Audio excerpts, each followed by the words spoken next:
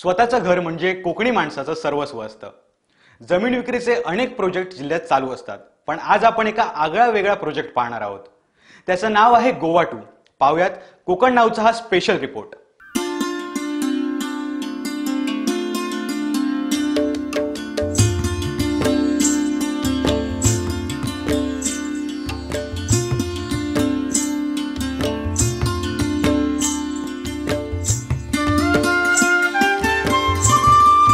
हे आहे पळसम. निसर्ग सौंदर्यानं फुललेल्या आणि मालवण समुद्रकिनाऱ्यापासून अगदी हाकेच्या अंतरावर असलेला हा वातानुकूलित परिसर. आणि याच ठिकाणी साकार होतोय गोवा टू हा भव्य प्रोजेक्ट शिवडावचे सुपुत्र अजय वर्दम हे नेहमीच पडीक माळरानावर साक्षात स्वर्ग तयार करण्यासाठी प्रयत्नशील असतात. गोवा टू हा देखील त्यांचा असाच एक प्रयत्न आहे. या प्रोजेक्टमध्ये प्लॉट तयार करून त्यांची विक्री होत आहे. संपूर्ण भारतातच नव्हे तर अमेरिका दुबई थायलंड या देशांमध्ये देखील याचं मार्केटिंग होतं आहे आणि विशेष म्हणजे हा प्रोजेक्ट मालवणमधल्या पळसममध्ये साकार होतोय. हा प्रोजेक्ट समुद्रकिनाऱ्यापासून फक्त आठ किलोमीटर अंतरावर आहे तर कणकवली चोवीस किलोमीटरवर.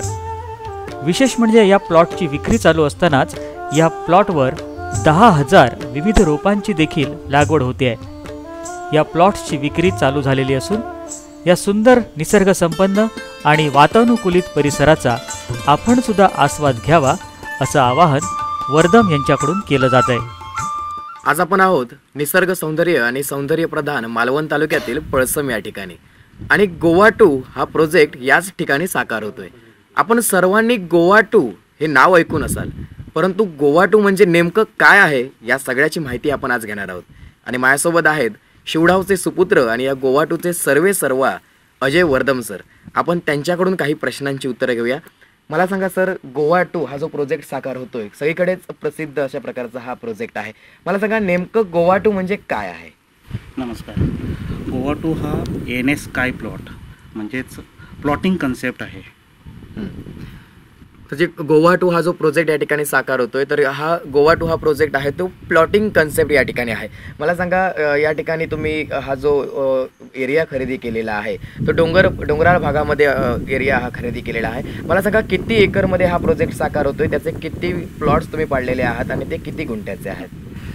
टोटल हा एकशे चाळीस ते एकशे पन्नास एकरमध्ये प्लॉटिंग कन्सेप्ट आहे.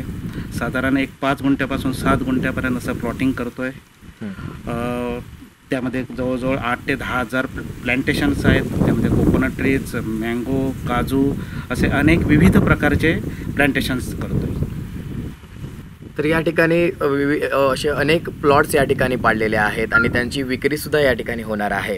तर हा जो परिसर आहे पळसम या ठिकाणी हा जो परिसर त्यांनी खरेदी केलेला आहे तर अतिशय सुंदर अशा निसर्गामध्ये हा परिसर परिसर आहे आणि डोंगराळ या ठिकाणी भाग आहे. मला सांगा सर सिंधुदुर्ग जिल्ह्यामध्ये अनेक प्रोजेक्ट या ठिकाणी साकार होतात परंतु हा जर प्रोजेक्ट पाहिला तर एक वेगळ्या प्रकारचा प्रोजेक्ट आपल्याला पाहायला मिळतो. कारण एक डोंगराळ भाग आणि या डोंगराळ भागामध्ये कुठेतरी अ, या पडीक महाराणावर तुम्ही स्वर्ग तयार करताय.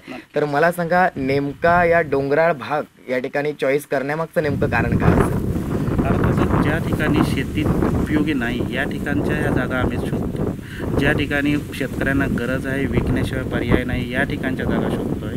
आणि त्या पद्धतीत मोठं क्षेत्र घेऊन हे प्लॉटिंग कन्सेप्ट किंवा कमर्शियल प्रोजेक्ट जे टुरिझमच्या माध्यमातून जिल्ह्याचं नाव कानाकोपऱ्यात जाईल संपूर्ण भारतभरात जिल्ह्याचं नाव कानाकोपऱ्यात जाईल याचा आम्ही प्रयत्न करत आहोत.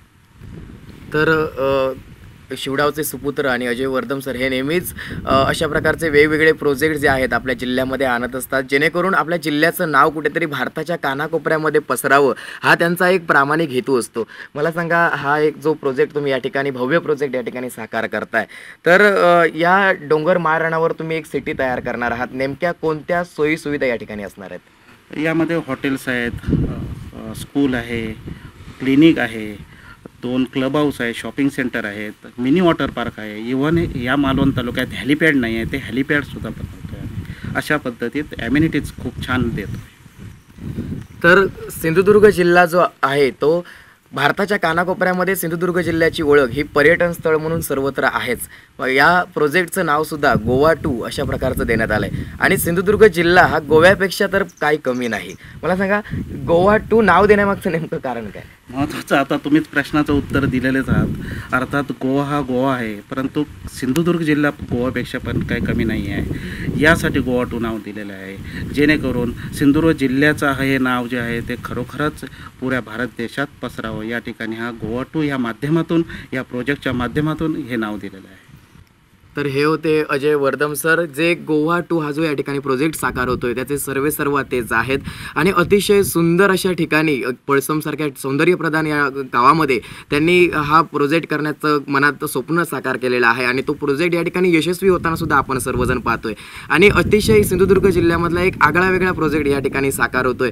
आणि या प्रोजेक्टला सिंधुदुर्ग जिल्ह्यातील सर्व जनतेने या प्रोजेक्टकडे भेट द्यावी असं सुद्धा आश्वासन असं सुद्धा आव्हान त्यांच्याकडून देण्यात येत आहे कॅमेरामन राजा दळवीसह मयूर ठाकूर कोकण नाऊ पळसम.